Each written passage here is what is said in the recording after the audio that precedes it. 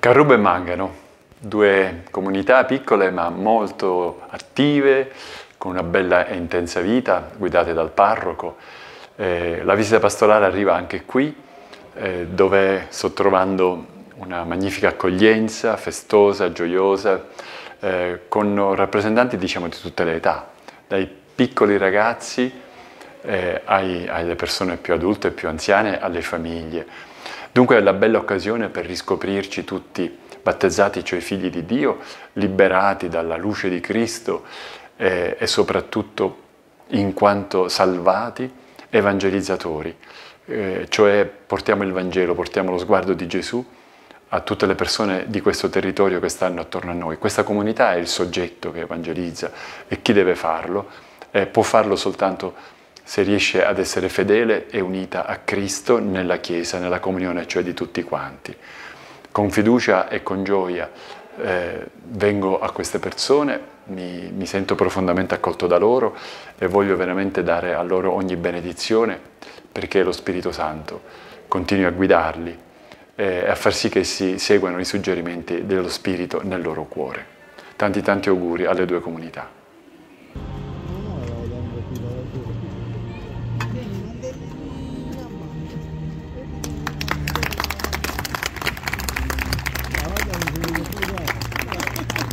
Abbiamo chiesto al Vescovo in questi giorni di camminare con noi, di condividere la nostra vita e di farsi partecipe di quelle che sono le nostre eh, realtà, quindi eh, non solo nelle chiese parrocchiali dove ecco, eh, oggi e poi martedì eh, verranno tutti i fedeli, gli operatori pastorali in modo particolare, ma anche ecco, dei luoghi di vita, dalle scuole alle aziende ad altri luoghi molto importanti e significativi come l'Istituto Giovanni XXIII eh, dei Padri Camilliani che ammangano, eh, un luogo dove si accolgono tanti nostri fratelli e sorelle diversamente abili, dove vengono accompagnati giorno per giorno nella loro formazione e nella loro crescita.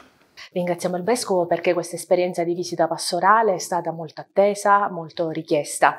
L'abbiamo richiesta a gran voce proprio all'ultima riunione del quarto vicariato, eh, quando diciamo conseguentemente a, a, quelle che erano diciamo le possibilità di raggruppare parrocchie eccetera, ognuno di noi ha espresso diciamo la propria idea su quanto sia importante mantenere l'individualità di una parrocchia, ma altrettanto importante camminare insieme agli altri.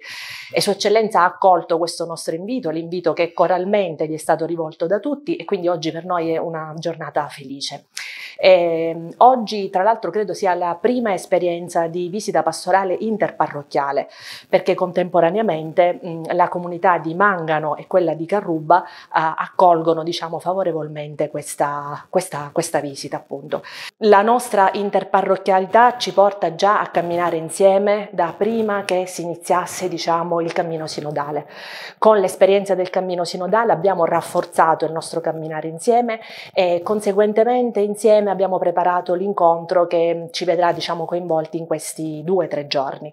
E, ehm, di certo um, il cammino sinodale è stata un'occasione per poter cercare di centrare alcuni argomenti e lavorare insieme. Abbiamo noi mh, approfittato diciamo, degli incontri sinodali che si dovevano fare e contestualmente agli incontri sinodali abbiamo svolto anche il questionario che ci veniva rivolto a, a proposito appunto della visita pastorale. E la visita pastorale rappresenta per noi un momento di verifica ma anche di rilancio della missione della nostra parrocchia. È il momento in cui riconosciamo i nostri punti di forza, però ammettiamo anche i nostri punti di debolezza e quindi cerchiamo di lavorare per migliorare proprio quelli. Quindi la visita del nostro vescovo è sì un momento di gioia, ma anche un momento di fiducia nel continuare ad evangelizzare la nostra Chiesa, quindi andare anche nei posti più lontani dove il Vangelo non è ancora presente. Questo è l'obiettivo principale per noi.